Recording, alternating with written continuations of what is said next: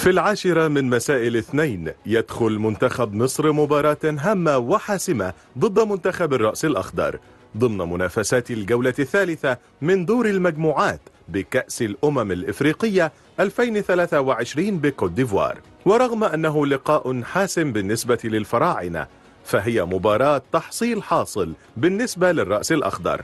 فالأخير ضمن الصعود كمتصدر للمجموعة الثانية بعدما حصد ست نقاط بالفوز على غانا وموزمبيق لينصب نفسه حصانا أسودا للبطولة. أما الفراعنة فلم يحصدوا سوى نقطتين فقط من تعادلين متتاليين مع موزمبيق وغانا.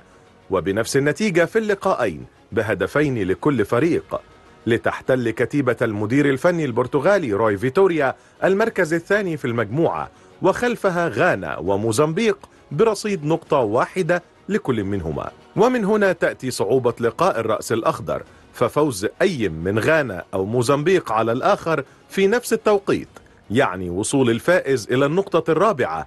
وبالتالي تصبح مصر في حاجة إلى الفوز على الرأس الأخضر للوصول إلى النقطة الخامسة وضمان الصعود المباشر لدور الستة عشر كوصيف للمجموعة الثانية. لكن الفراعنة يفتقدون جهود نجمهم الأول محمد صلاح.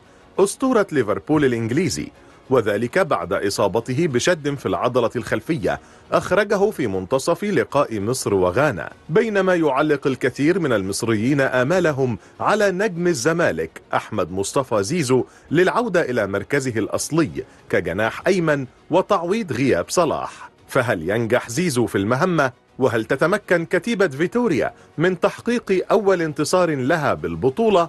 هذا ما نتمناه.